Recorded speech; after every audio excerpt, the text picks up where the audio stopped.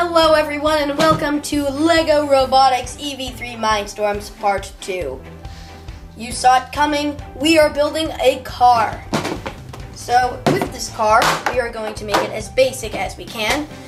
Note how I'm not using the instructions. I, cause like actually, I'm just gonna like do a quick time lapse here, and I'm just gonna show you the first thing the instruction says. Let me get my book.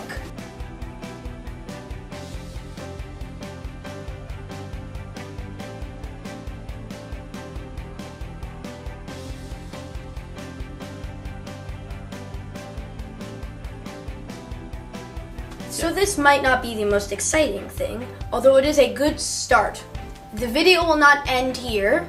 We will actually build a car, although this is a good start. As you can see, it is very durable. Like, it, it's not broken.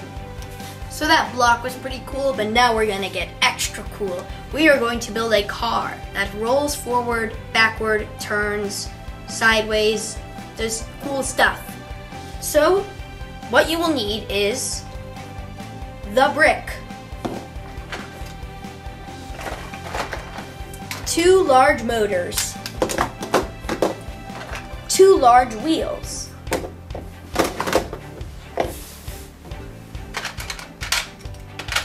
all of the framing that you have.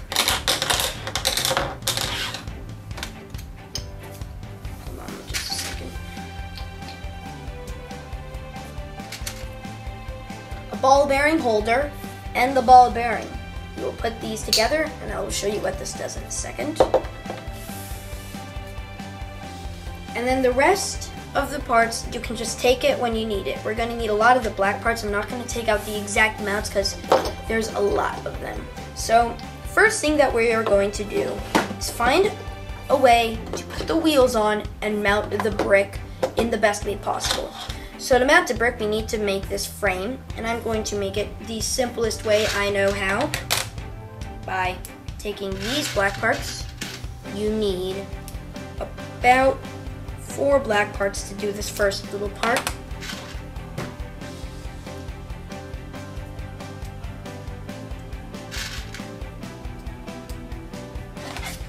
Now this might not be the most sturdy frame, but it is a very easy one.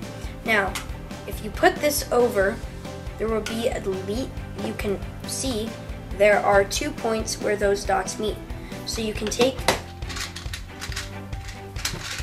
two of these long blue pieces, four, sorry.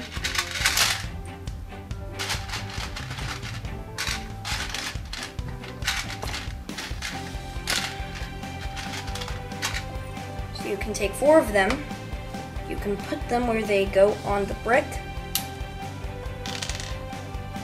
Notice how you put, if, as you can see, there's like a little bit of a line right there in the middle. So you want to put it so the line side is down on the brick. Because if you do not, it'll go too far in and it won't attach to the frame. And also, I not, and also it's hard to take it out.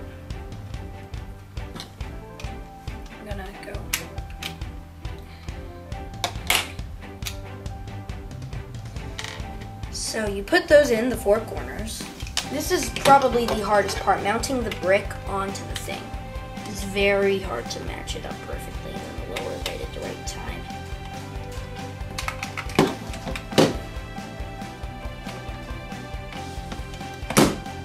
There we go. So as you can see, it's very sturdy. The brick doesn't make it flop down. And this is where the ball bearing comes in. Now I'm gonna flip this upside down. I'm gonna flip this upside down. You take one of these, you stick this into the ball bearing. And then you do the same on the opposite side. Then you go in here. That's good. Okay, so the next step is that you take these, you line them up side by side, you make it so one of these pieces fits them. That's good. And then you take some of these black pieces, you put them in.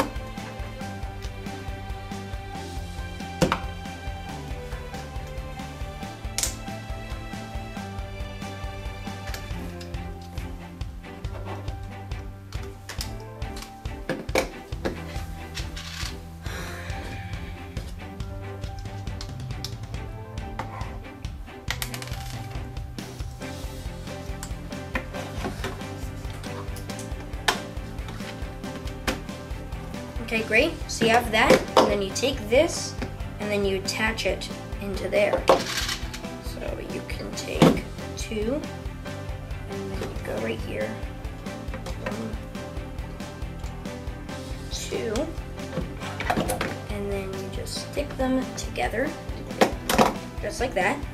And then here is your full frame frame for the thing. I almost said your full form, full flame. So the next thing that you need to do is take two of these axles. They have to be the same length, equal length.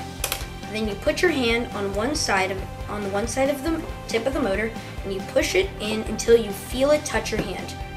Then do the same thing with the other thing, with the other axle, until you have it like that. And then you do the same thing with the wheels. You fit the wheel in, and then you just push it in until you feel it hit your other hand.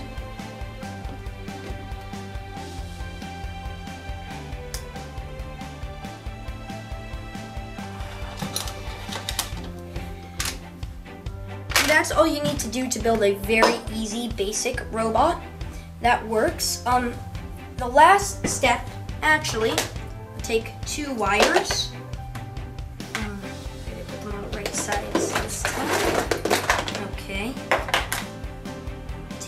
Wires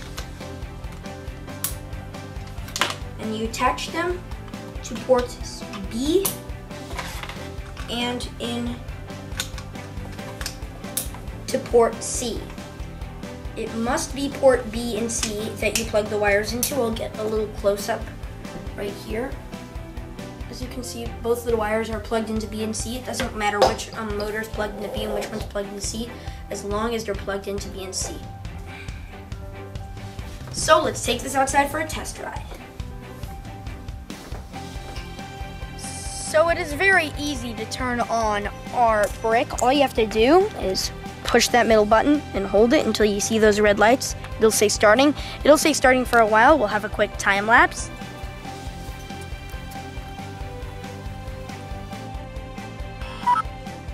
Ta-da! See, that was quick. Okay, so then the next step is that you put it right on the floor. You can do it outside, or inside, and then you might be thinking that you need to do all of these crazy hard to do programs, but it's actually very simple. The brick comes with a pre-made program called a demo. So push that demo button and then watch your robot drive.